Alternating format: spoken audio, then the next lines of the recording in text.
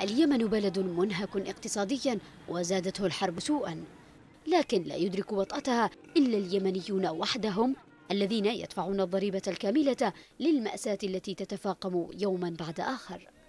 يعيش نصف اليمنيين تحت خط الفقر وأكثر من مليون ومئتي ألف موظف رواتبهم منقطعة منذ أكثر من عشرة أشهر بينما يتساءل مراقبون إذا كانت الدولة تسيطر على 80% من البلاد ومواردها لا سيما النفط والغاز فلما لا تغطي هذه الموارد رواتب الموظفين والخدمات العامة خصوصا أن القطاع النفطي وحده يغطي نحو 70% من إيرادات الدولة. وزارة التخطيط هي الأخرى أعلنت في مايو 2016 عن الجاهزية الكاملة لاستئناف تصدير الغاز. ورغم تأكيد الحكومة بعد ذلك بثلاثة أشهر عن استئناف إنتاج وتصدير النفط الخام من حقول المسيلة إلا أن ما أشيع هو أن التحالف رفض قبول التصدير ما يضع العصا في العجلة دون الإفصاح عن الأسباب.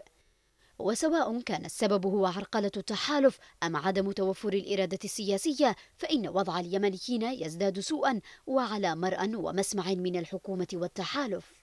للإمارات وهي الدولة الثانية في التحالف العربي دور بات يثير استياء الكثير من اليمنيين.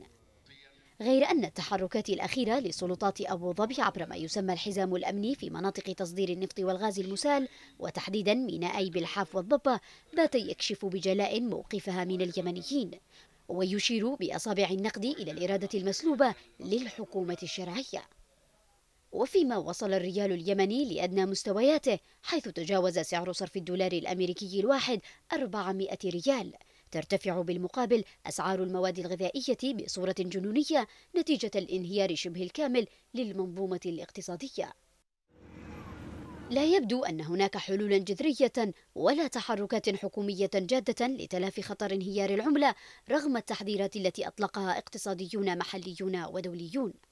تغيب موارد الدولة وتتوزع بين سلطتين تمضيان بمعزل عن حاجة المواطن ومأساته التي تتفاقم يوما بعد آخر.